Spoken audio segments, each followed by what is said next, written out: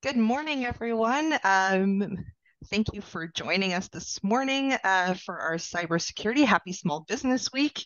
Um, my name is Carmen. I'm the Manager of Business Services here with the Chamber and happy to uh, host with Paul this morning.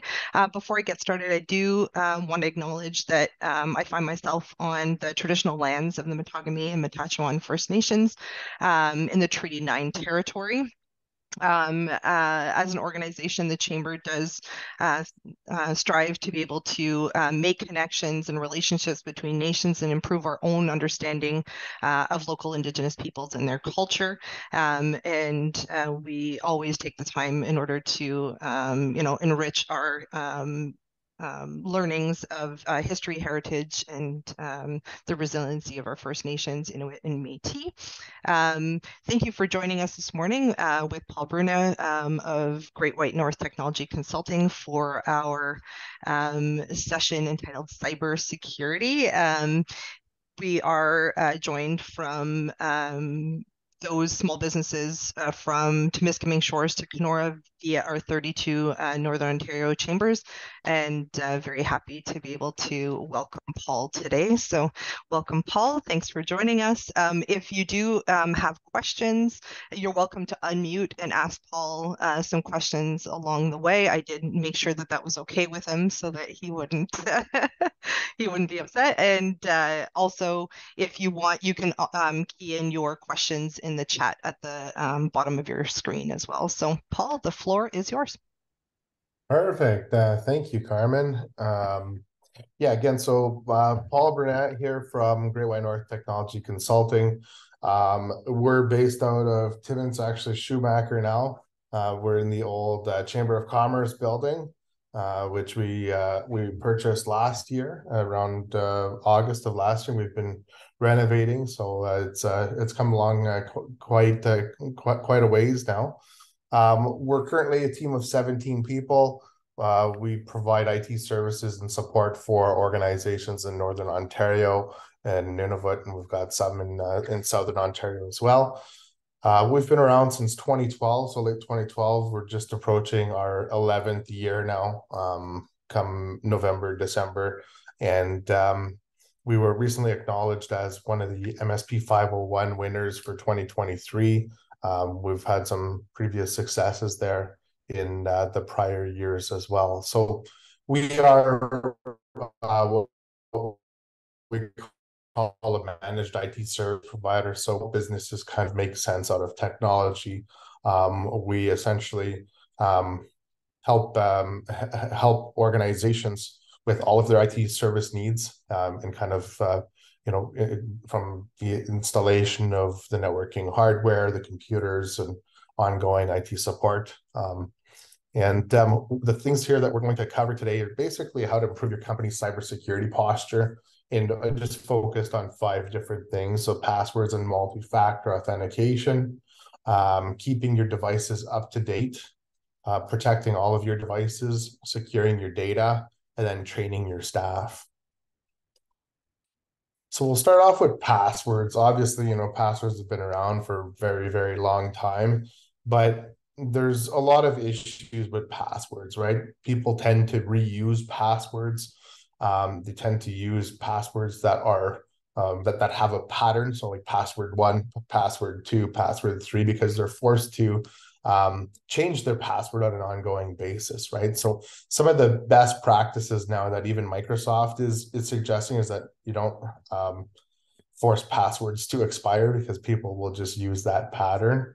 Um, some of the things here that you could do to kind of uh, make passwords uh, more unique and more complex is a, a password manager. So password manager is basically a piece of software um, or an app that you install on your device that will assist with the creation of unique passwords and complex passwords.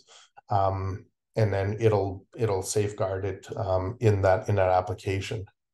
You could also combine a multiple uh, like multiple words um, to make it something more memorable, but still have it very complex. So, for instance, if you were to combine like four different words together, um, it would be uh, significantly harder to get access than um, an actual password that would be like eight digits or 10 digits long. Um, enforcing password complexity is definitely something that is um, is also recommended. So by having you know uh, a combination of uppercase, lowercase, special characters, and numbers um, is what essentially like password complexity is. And then multi-factor authentication or two-factor, 2FA, MFA um, is definitely something that you want to be utilizing at this point if um, if if you can, and if um, the application or if the service that you have doesn't support it, then um, I would probably suggest having a look at different alternative uh, uh, programs or applications that do support it because I would say that most uh, vendors now, software vendors and security vendors have um, MFA um, enabled. Um, changing, you know, a single word with one letter changed as well. So like password with the at sign doesn't make it a strong password. Uh, there's a lot of uh, uh, password crackers now that will actually um, uh, change those out uh, to to do the guessing. So um, I'm going to try to make things a little bit interesting here by throwing some memes here uh, into uh, in, into the slides because uh, I don't want you to be uh, bored to death here. But um, these are just a, a, few here that I found that were uh, re regarding passwords. I thought were kind of funny. Um, the other thing that we're starting to see more and more now are different um, uh, services or different um, uh, SaaS applications, hosted applications, line of business applications that support single sign-on. And what single sign-on allows you to do is that it allows you to log in with one single password, and then it'll pass through that authentication um, over to the application that you're using. So case in point, like in my environment here, we use um, an HR software that when I'm logged into my device, I log in with my Microsoft 365 credentials. And then when I go to the HR software, it automatically authenticates with the password that I already used. Um, so a lot of different services now support single sign-on. It's just a matter of talking to your IT team and getting it integrated and then that just makes it a little bit easier for your staff they only need to log in once so they don't have to um, worry about you know remembering another password or um, setting up another password for um, uh, you know th those types of services or software um, I talked a little bit about password managers earlier on. Um, password managers are extremely, extremely powerful because it allows you to um, create unique passwords for everything. And it's kind of like having, you know, a book with all of your passwords in it, except the book is really, really safe and secure because it's encrypted and you need to have, um, you know, the the secret keys basically to get into it. So um, there's a couple different password managers there that I've listed here, like Dashlane, Keeper, 1Password, and LastPass.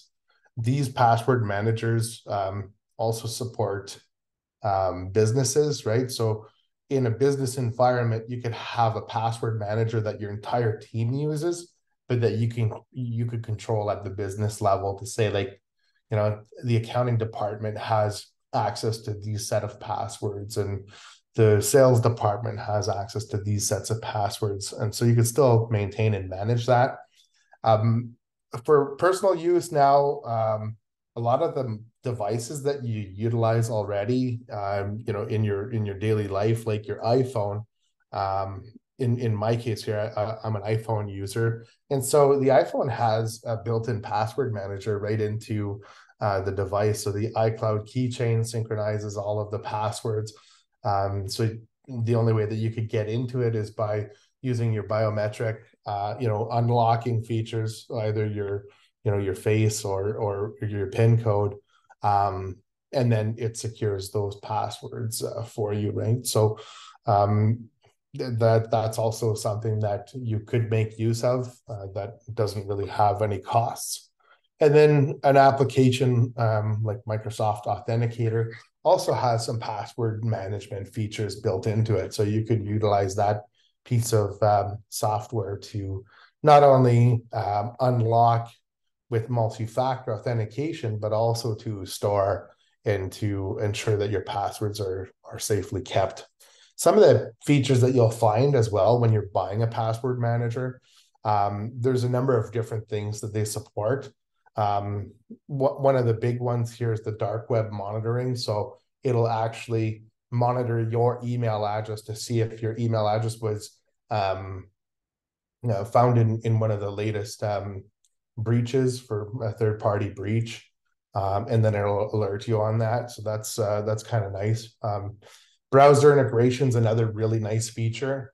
Um, so essentially, whatever web browser that you're using, um, it could install an extension or an add-in.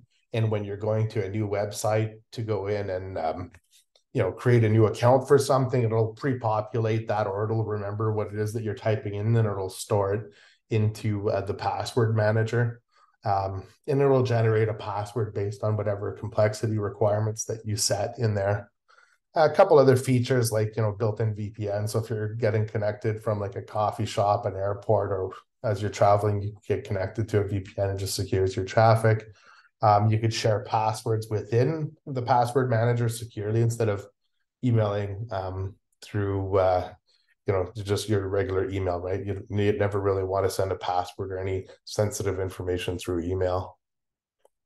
Um, so he, he, here, here's another quick one here. So adding an extra exclamation mark at the end um, doesn't make a password manager. Uh, I mean, doesn't make a password secure. You're better off to use a password manager.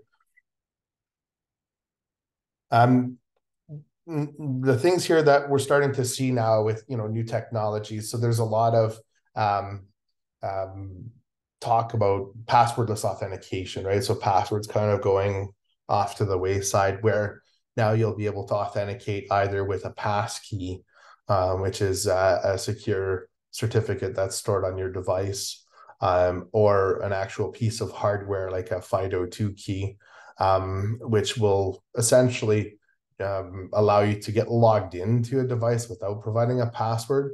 And the graph that I have here just basically shows that it's high security and it's ultra convenient for for people um, whereas, you know, setting up like a password with the two-factor authentication, um, I'm sure you've all seen it over the last little while when you know you're getting set up with your multi-factor. It's a little bit of it's a little bit of a learning curve, and you know people tend to push back a little bit. So the passwordless authentication really makes that easy. Um, you could do passwordless authentication already with Microsoft 365. Um, the reason why I kind of I'm going back to Microsoft 365 here because that's what we chose as our standard uh, within our company. And I would say about 95% of our clients also use Microsoft 365. So um, if you haven't already done it, um, Microsoft has the Authenticator app, which is actually pretty great.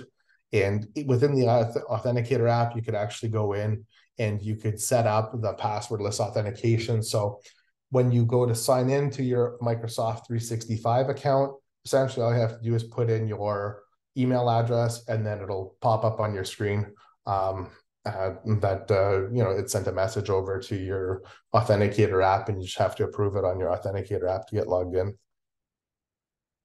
any questions so far looking good all right so we've got multi-factor authentication here so again, you know, I don't want to go too much into details here what multi-factor is. I'm sure that most people already know.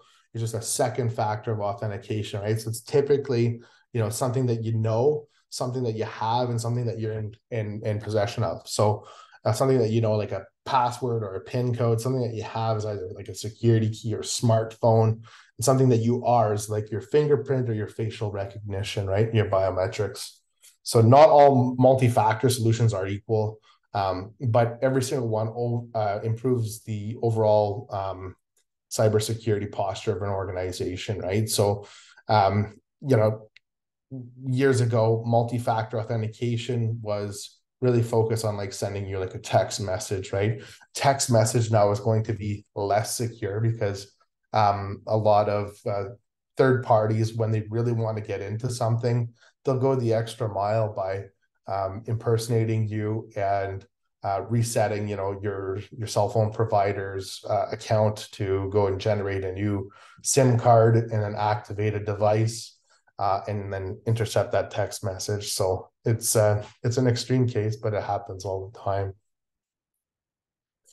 Um, why should you use uh, multi-factor? Well, it minimizes the risks associated with password theft. So stuff like phishing attempts, uh, credential stuffing, which is essentially, you know, what we've seen recently in the news with the 23andMe breach. Basically, um, you know, your passwords that were found on the dark web for some other services that you utilize, and um, those credentials get um, utilized to try to log into a, a, a specific service. So, um, in the case for 23andMe, um, you know, with with uh, the different email accounts that are associated with your logins and the passwords, when people reuse the same password, they basically just take those credentials and try to log into different websites. So um, it's not necessarily that the website that was uh, you know low security or that their uh, passwords were actually breached or their databases were breached. Um, it's it was just a legitimate login, right? So for people that didn't have um, multi-factor authentication uh, enabled, and then obviously brute force attacks. So these are like computers and bots and whatnot that are um, just trying to guess passwords um, from either a list of passwords or it just alternates really really fast through um, the different possibilities. So obviously, the longer that your password is, uh, the more secure it is, and um, obviously, if it's unique, then that makes it a lot harder. But all of these, you know, multi factors really what will prevent it from. Um, uh, sorry, will prevent the um, third party hacker from getting into the system. So another meme here uh, multi-factor, nice and strong, you know, password one, two, three, not so strong. There are different types of devices that you could utilize as well. Like I mentioned, you know, the app that you see here on that iPhone is um, like a Microsoft Authenticator app, and you could add multiple services to that where it'll generate a new code or it'll push a notification to you. There's a lot of hardware tokens. So those USB keys that you see, those are called YubiKeys, um, where essentially you have to have that plugged into your device or touch your um, mobile device or any device that supports uh, NFC uh, to do it wirelessly. You have to push the little button on there, and when you utilize that key, you have to put in uh, a PIN code, right? So it's multiple factors of authentication. Obviously, um, you know these types of devices make things a lot harder to break in. Um, you can even get you know some apps now on your on your um, Apple Watch or on your smart watch, which makes it a lot easier when you're going to log in. Um, a couple things, you know, how do you enable multi-factor authentication? Typically, um, you'll find it under like a settings and privacy section or sign in and security uh, for pretty much any service that you use nowadays um, including you know social media, including your own personal email. Um, in an enterprise application or like in in a you know a business environment in the SMB world, what you really want to do is you want to coordinate what that's going to look like um, because there's a lot of people that are involved and the, there's different skill set as well, right? So if you if you enable this wrong, uh, it could create a lot of confusion. It could create a lot of um, uh, issues with people trying to log in to different services. You really have to um, coordinate this and plan it with your your IT team. So typically, what we do is we create a you know um, a campaign here, and we make sure that everybody uh, is involved. We we have a look at you know what uh, different services are are involved, what will get impacted. We'll typically start off with the top level admin accounts, and then the key um, um, people in an organization, like business owners, CFO, CEOs, leaders, uh, senior senior leadership, and whatnot. And then we'll plan for um, you know deployment for the rest of the team. So you got to look at really um, a number of different things to make sure that um, legacy applications and whatnot that still uh, authenticate to whatever application that you're using that's not broken. Um, and then obviously, you know, you want to make sure that uh, you're there to support um, when you do go live. Make sure that uh, you're you're able to um, address any issues that uh, that happen. This is a quick link here to the um, Office 365 on how to just enable it on your own Office 365. Typically, what we do is we take it a step further and we set um, conditional access policies, which just enforces multi-factor across the organization. So it's not just saying, hey, you know, go into your own Office 365 user, set this, and then we'll be good, right? Because anybody new that starts, um, they have the potential to not enable it. Whereas when we're setting up a conditional access policy, it really uh, enforces that. A lot of the computers now um, have built-in multi-factor authentication. So this is essentially just um, a screenshot from Windows Hello for Business. This is built into your computer. So you can do stuff like facial recognition, fingerprint recognition, the PIN codes. Um, you could pair again, like those YubiKeys or the security keys that, that, that I've showed. Another kind of nice feature is the dynamic lock. So it'll just pair with your phone's Bluetooth. And as you walk away from your computer, it'll lock your computer. So these are all things that are available right now that uh, organizations could be um, utilizing to improve their cybersecurity posture. Cybersecurity uh, training. So this is a huge one, right? Um, a lot of organizations now are asking for this. In in in my world here, I'm getting um, requests for this all the time because of the different cybersecurity insurance requirements, um, compliancy for different organizations and for um, you know the the the industries that they're in. Um, the security awareness training used to be like really really boring, uh, and people didn't like doing it. Um, it's gotten much better. Um, there are different little micro training sessions um, that, uh, that that make things interesting for people. They really helps them understand kind of the current types of threats that exist because as you could imagine, you know, the cybersecurity landscape is changing daily. Um, so with new types of threats that come out, there's new um, training modules that come out um, to, uh, to, to to help uh, train people on on how to identify those those types of threats. They've also like gamified it, so there's um, an employee secure score that you could actually see. Uh, so you could you know publish uh, those scores a dashboard within the office to show you know who's got the highest score. And people tend to get a little bit more motivated when um uh, you know you've you've gamified something. Um it, there's also the um yearly training modules. So on a on a yearly basis there's essentially another security training that the employees do have to um, uh, complete and that's really what allows you to check off that box in that cybersecurity questionnaire.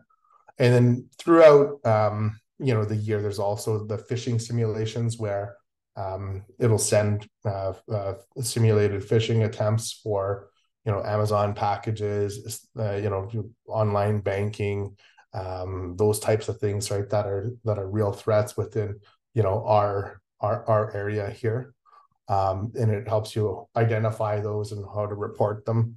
Um, like I mentioned before, the dark web monitoring. So uh, typically, a security awareness training platform will have dark web monitoring also, where you could see, you know, a list of uh, the user accounts uh, in your organization that have been breached. Um, so you kind of uh, assess that and see um, you know, if anything needs to be done, then it does ongoing monitoring for that as well. So if there's a new breach that comes out and, you know, one of your uh, employees' email addresses are in there, um, it has the potential to send you an email with an alert and then identify, you know, what's the next best thing to do is if we need to go enroll that password, um, if that password is also shared um, and the platform that we utilize for this actually shows us all of the different um, email accounts that have been breached, and you can see what um, type of information was released in that breach. So it's uh, extremely powerful, and um, it really helps to train your staff to really make sure that um, you know they become kind of like a human firewall, right? Because you could have all the best security in the world, And if you know you open up the door for somebody, you invite them in and you give them access to everything within your organization. Um, you know, it's it, it's not it's not a good thing. So just a quick one here for security awareness training. So I'm sure that everybody's kind of seen, uh, you know, the cyber uh, emails that come in to say, hey, you know, it's the boss or it's it's pretending to be the boss and hey, you know, can you go get some some gift cards for me? I'm in a meeting or whatever. Can you just do it and expense it and everything's going to be okay? Um, I've seen I've seen this this type of email come in, that type of phishing attempt come in. And then for the folks that are already doing security awareness training, you know, the, the other meme here is just like, hmm, I wonder if I should click on this, right? They become hyper vigilant on on the things that they should and shouldn't click on. Um,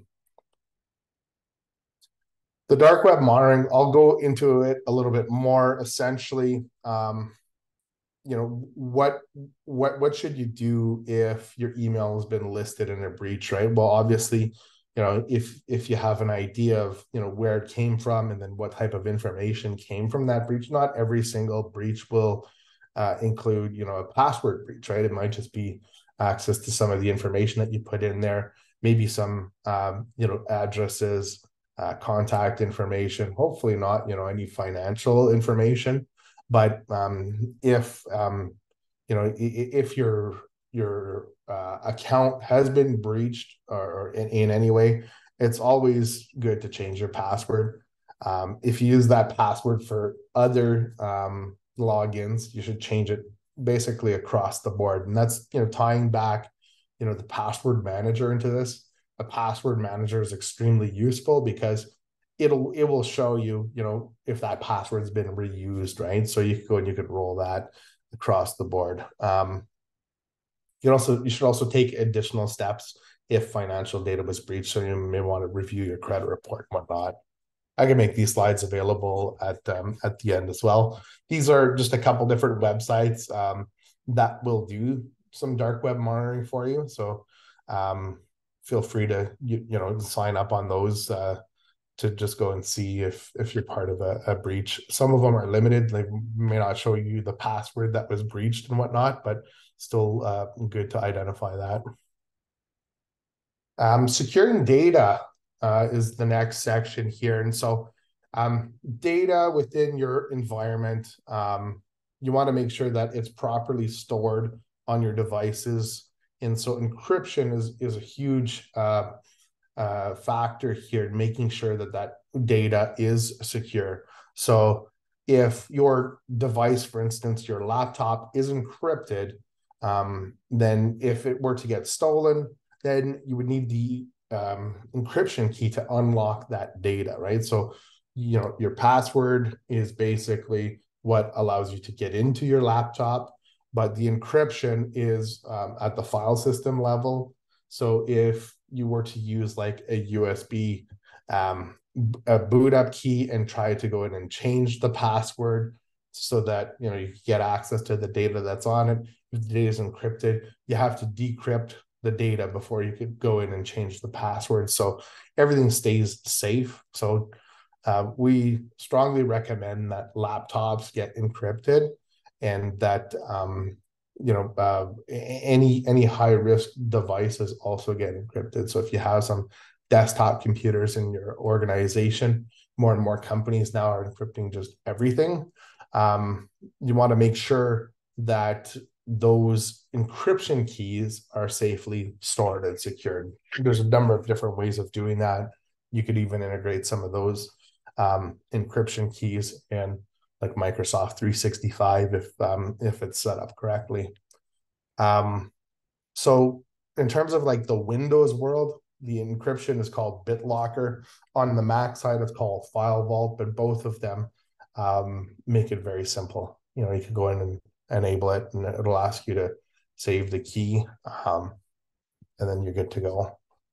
If you lose the encryption key your data is locked forever. So that's the that's the downside to encryption. Uh, you want to make sure that you have a good uh, a good documentation policy. Backup and uh, disaster recovery.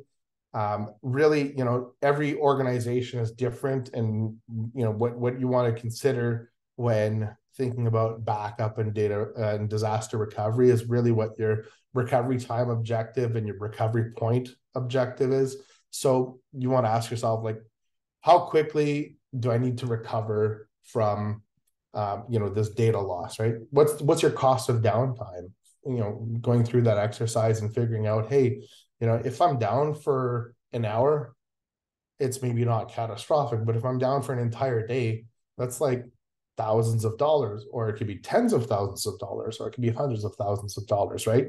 And so your backup uh, strategy would be different, and your disaster recovery strategy would be different in that case. Um, but really, you know, that's th- those are some of the things that you want to consider. And ideally, you know, a good backup solution would have multiple backups throughout the day. And this, you know, we're we're talking about like data type backup, right? For um, you know, storing your files, maybe your accounting software and whatnot um, on your computers, um, on your servers if you still have any. And um, uh, you know, another thing that is also extremely important is that the backups are validated and verified. So, um, you know, back back in the day, you used to have your backup jobs run and maybe it would send an email if the backup failed but it was kind of like a set it and forget it and then you would realize hmm you know what? It hasn't backed up in the last month and that's typically you know when you're going to try to restore something. So um, a lot of the newer backup solutions have automation built in where it'll validate that it's a good backup. It'll start it up in its kind of own little virtual environment make sure that it's successful that you could restore from it right? So it does that validation for you. Um, ideally, you want to have your backups go off site. You want to make sure they're encrypted. You want to make sure that in order to access your backups, um, you have um, uh, multi-factor to protect um, that actual backup solution. And you want to make sure it's that that the storage that it's on, it can't go and get deleted, right? So typically when a hacker comes in, they will uh, go in and trash the backups uh, if they're trashable and um, then trash the system. And you know if you have your backups kind of secured the same way that you have your system secured or on the same network um, that could be really catastrophic. The really important thing with with uh, securing your data is you have to be able to identify what data it is that you're trying to protect right? Not all the data is on your server um, you know, some people have data on their local computer. Some people have data in Dropbox. Some people have data in a number of different third-party online storage, SharePoint, OneDrive. I mean, the list goes on, right? So you need to determine where your organizational data is, um, how it's being backed up, how it's being secured. Is it compliant? Um, you know, a lot of the different regulations for um, you know the, the, that that organizations are faced with here you can't store credit card numbers. So if you're storing credit card numbers you know in dropbox that's that's not good right? So um, you need to have some policies and you have to think of like organizational policies to determine you know how you're going to safeguard that data where it's going to reside and then how you're going to protect it. So you can't protect data if you don't know where it is. Um, so cloud data, again, you know, around the Microsoft 365, um, you know, there's SharePoint data, there's OneDrive data, there's Teams data. Obviously, your emails is also another type of data. How do you safeguard that data? Um, Microsoft has a shared responsibility model where they'll provide you the platform, they're responsible for the platform itself. They're not responsible for the data that you have within the platform. So um, it's it's extremely extremely important that you, you know as an organization you're thinking of how you're going to back that up, um, how you're going to safeguard that information. Um, time and time again, you know, we come across different Microsoft 365 tenants for clients or potential clients, and they've got their own structure that you know somebody in the organization went and created Um, and it could actually be very dangerous because a user can expose corporate data on, you know, just a vanilla Microsoft 365 tenant that hasn't been configured, right? Um, and that is a risk because you could share externally, you could share potentially data that um, you know should not be published externally. So you really need to create policies, train staff, make sure it's properly set up from the top down. A lot of discussions with management to determine which you know security groups where the data is going to go and then um, you know what are some of the other things to consider maybe you know redirect some of the uh, local folders on a user's desktop, for instance, or their documents or their photos to go into like OneDrive and then um, have it synchronized there. So if their computer uh, uh, fails, it's just a matter of setting up a new computer. They would have access to all of the data that they would uh, typically have in their OneDrive. So this is um, a quick slide here just to show you the shared responsibility model with Microsoft. So these are some of the things that Microsoft are responsible for, and the customer uh, is responsible for you know the information, the data, the devices, you know the um, accounts, uh, safeguarding the accounts. Right? I mean, if you don't have multi-factor authentication, and somebody gets in, is it Microsoft's fault or is it your fault? Right? Well, it's definitely your fault. Now, organizations are starting to enforce multi-factor um, at, at a higher level now. Um, so typically, you know, new accounts that you're creating within Microsoft 365, like a new tenant, if you were to sign up today, there'd be some of those multi-factor authentications as a requirement. But the, the ones that are older that don't have it enabled, um, they haven't been enforced yet across the board protecting the devices now. So obviously, you know, your servers, all of your computers, your laptops, that sort of stuff.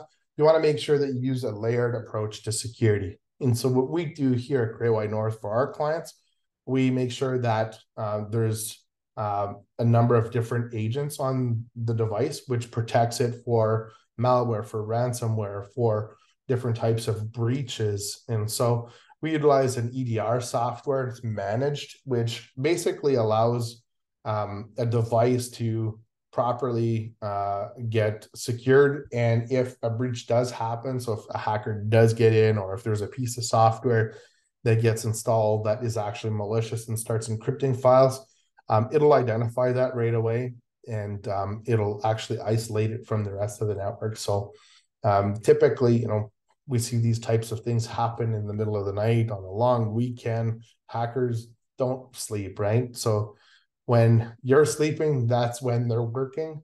And that's the, you know, that's their way of making the most damage without getting uh, caught, right? We also utilize um, advanced DNS threat protection. So that is essentially um, for outbound threats. So if, for instance, you're going to a website and that website's malicious, when you're browsing to that website, um, it'll get blocked, right? Um, real-time privilege management is also a really good one. It it you know is getting closer to the zero zero trust security. So, you know, how often have you come across you know a computer in an organization where the user could just install whatever piece of software on it, right? I mean, that's the easiest way to do it. I would say most organizations, that's what they do. But typically, when you run across a piece of malicious software, it will not ask you to install it and click next and agree to the terms and conditions. It'll just install silently on the computer.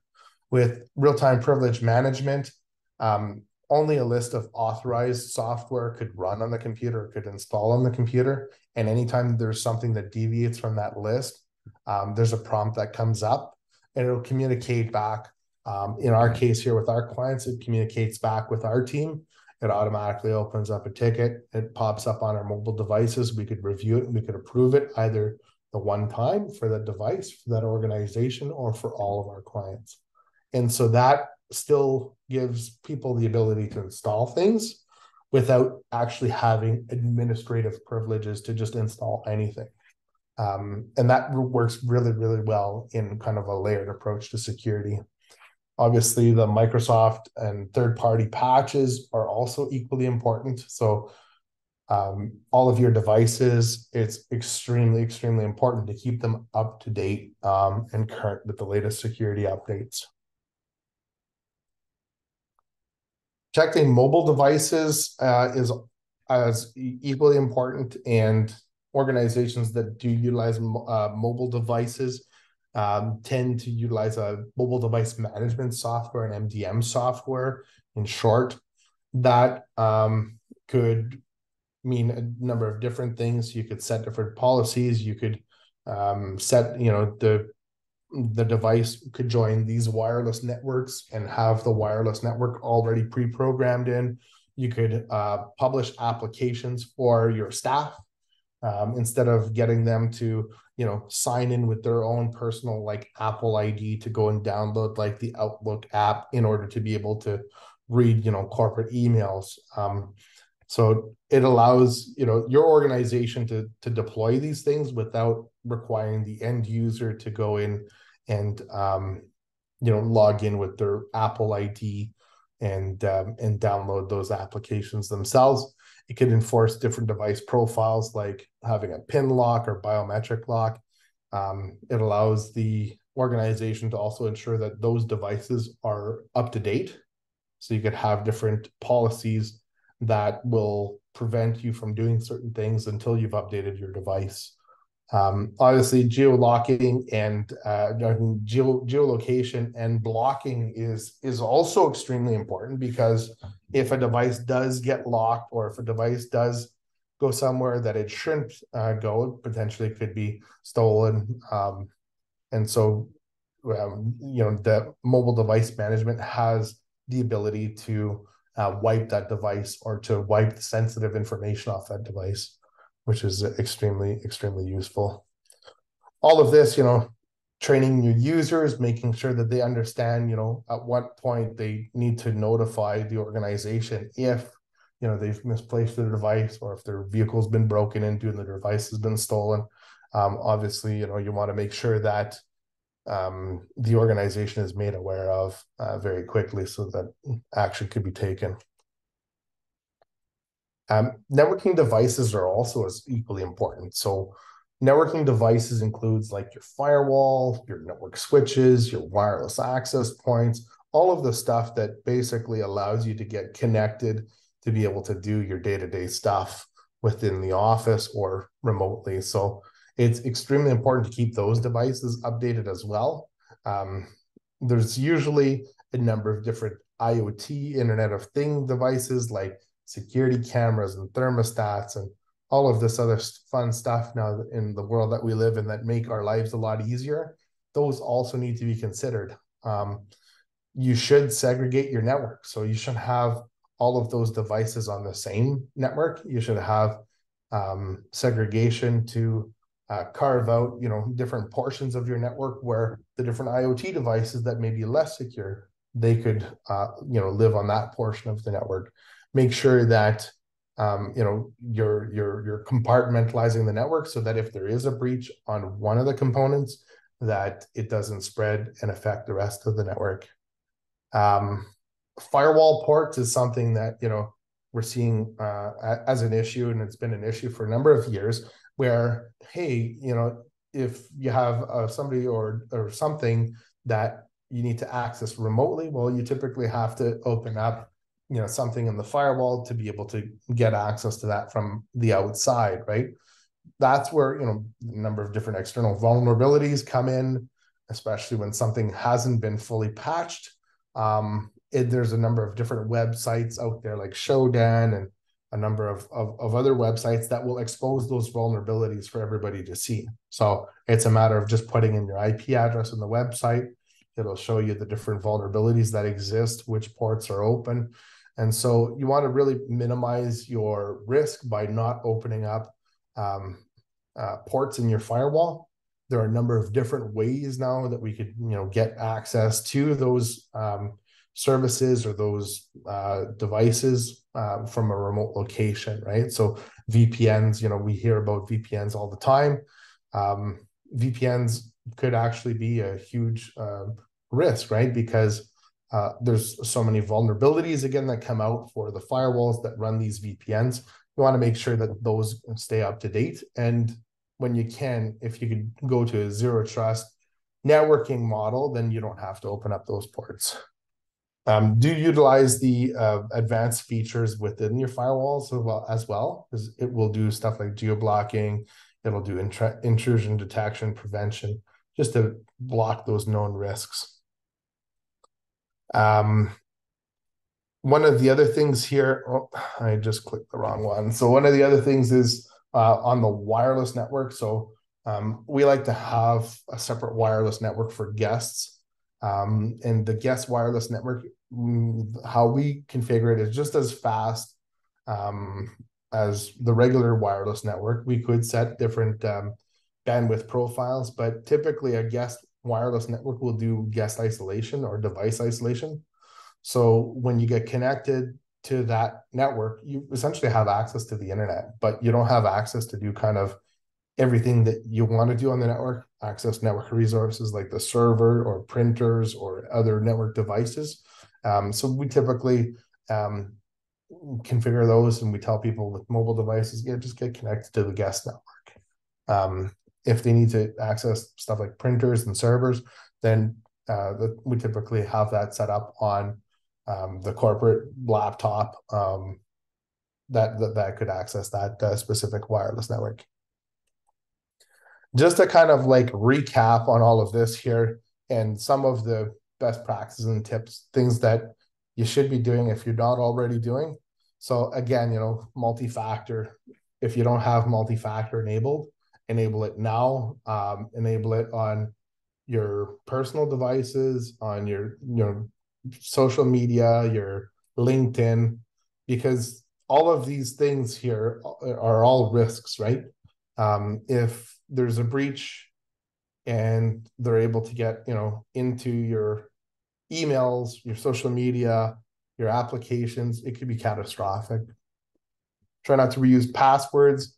Make sure your systems are up to date. So your computers, your servers, your networking devices, your mobile devices, you know, um, Apple and you know Android when they release something, uh, it's typically because it's it's fixing a zero day vulnerability uh, or something that is is pretty critical. It's not just always a feature update or you know a patch to fix a bug on on the device.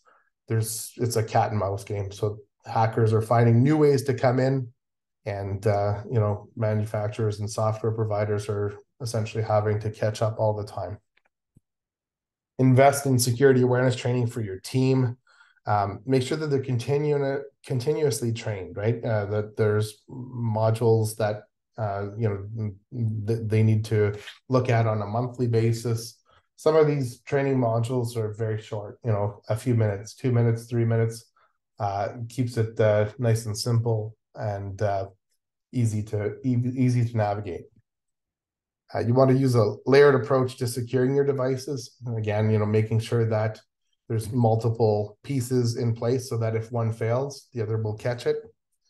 Um, figuring out where your data is stored, what's important, and how to properly secure it and back it up. Making sure that your software or your Microsoft 365 is properly configured is is huge one. Um, there's a number of different settings in Microsoft 365 that out of the box don't make it very secure. Uh, utilize dark web monitoring, use a password manager, don't share sensitive information through email. Um, this is a big one. Like I see people sending credit cards and even like hotel forms, you know, when I'm trying to uh, reserve a hotel reservation that I have to provide, you know, authorization to utilize a credit card, they want me to email that back and forth. You know, I choose not to do that knowing that you know sending an email is kind of like sending a postcard right? Um so I, I would suggest don't don't do that. Um, perform ongoing network vulnerability tests. So there's um, you know software that will run on your network to assess kind of if you have any vulnerabilities.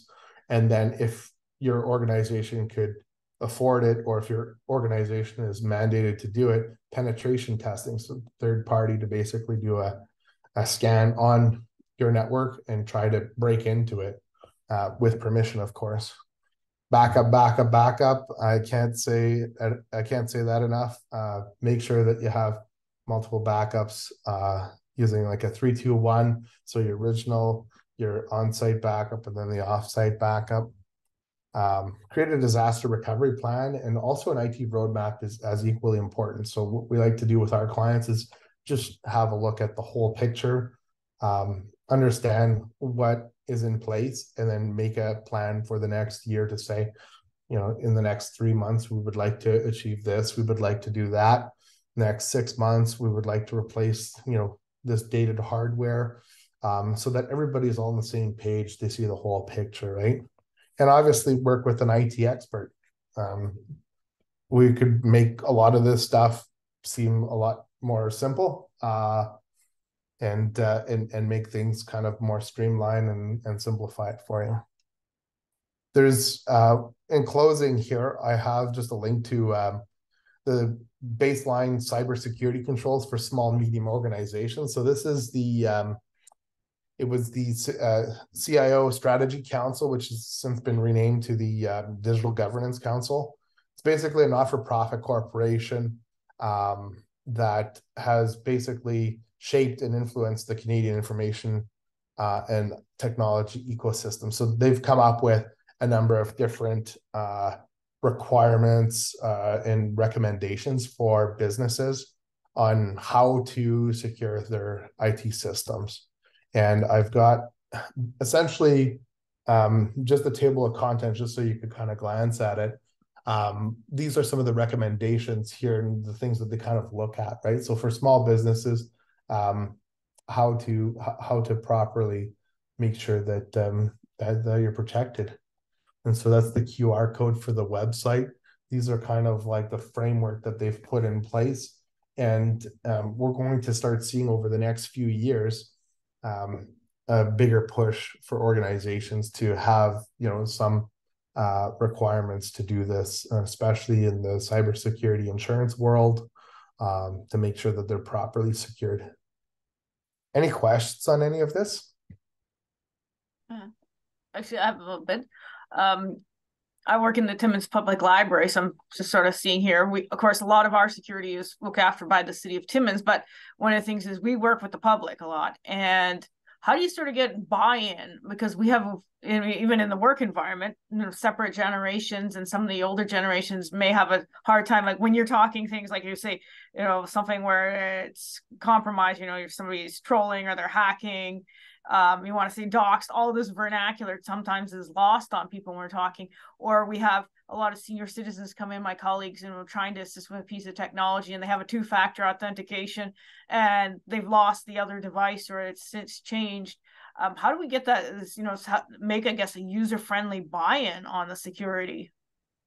Yeah, and I mean that that's that's a huge challenge. I know that, like you know, even in like the Apple world, right? Like how how often do you see somebody it's like oh i can't download this app because i don't remember my apple id and my password. Right. and so a lot of it is education a lot of it is just circling back to you know the password managers stressing the importance of a password manager to keep track of all of this information. I know a lot of people very close to me that anytime they're going to log into something logging into a website they're doing like a password reset or they have like a pattern to their passwords, right?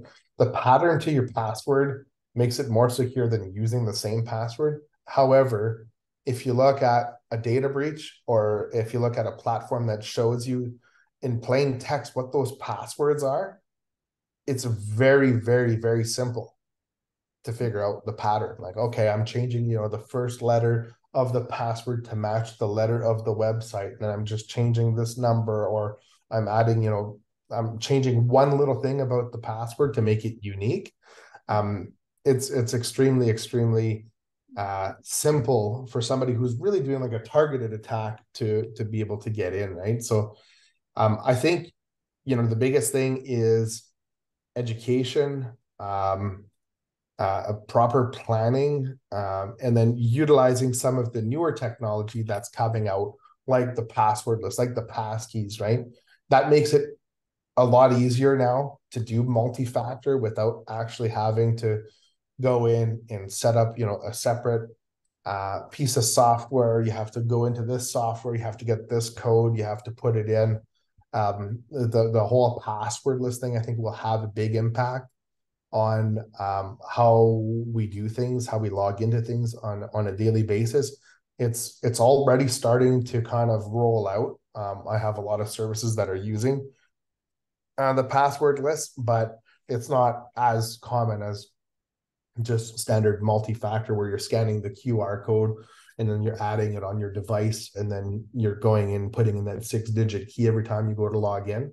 Um, well, I, I, what I would like to see, I would like to see more workshops, you know, for seniors, for people um, on how to properly, you know, utilize multi-factor authentication uh, in your day-to-day life, and I think that you know would uh, would have a big impact, especially on you know seniors and and whatnot definitely something I'm going to suggest to my colleagues. And I know I, some of the people I used to work in the reference department. Now I'm the head of technical support and systems here at the library.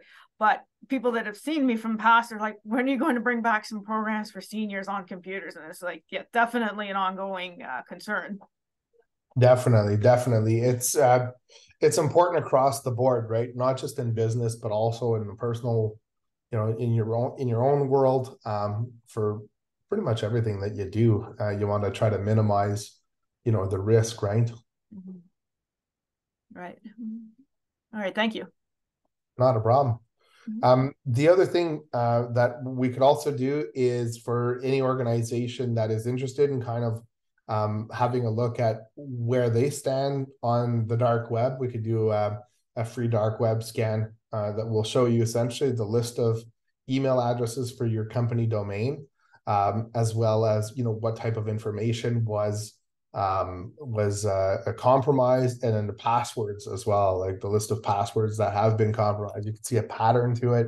You could see you know people utilizing the same passwords. Uh, obviously, you know the older that a domain is, the the more susceptible to uh, you know breach that, that they are. I would say probably 90% of the businesses that, that are listening to this right now probably have some type of um, breached account on the dark web.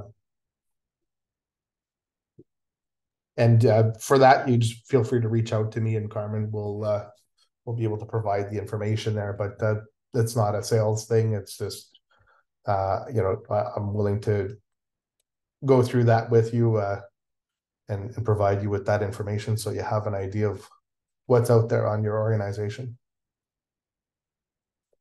And then finally, these are just some of the sources. Again, if you um, if, if you reach out to Carmen, I'd be willing to pass out these slides uh, for reference as well. No, that's great. If you send over the um, slide deck just even in PDF format, I'll attach it with the recording for today's session. Thanks, Paul. Perfect. And I was I was going to mention Neonet too has a number of different uh, training and sessions, and I know they're working on developing some programming for some of the training that uh, Karina that you you mentioned. So um, if you connect with MJ, I know she's uh, has some stuff in the works because um, they're getting the same kind of feedback. They need some help. So yeah, no, absolutely. Any other questions for Paul? Well, Paul, I learned some things. I'm I'm a little more afraid than I was um, at uh, 10:59 this morning, but no, and I think you know, a, a, like a number of the things that you mentioned, um, you know, have either um, you know some of the phishing scams come to us as uh, an organization regularly. Uh, we've been caught in a few of them, and uh, yeah so it's just a matter of you know for us um, mentioning all of these things when you onboard a new employee and making sure that that's on your checklist with all of the other things that you need to get from them but you know some of the training um, also in, includes um, you know, being um, cautious of what emails are coming in and what you're clicking on and, you know, ask questions and those types of things. So thanks, Paul. I think that we all learned um, a lot of things today and we're going to take a lot of those things back to our teams and see how we can implement and make sure that our businesses and organizations are safer. So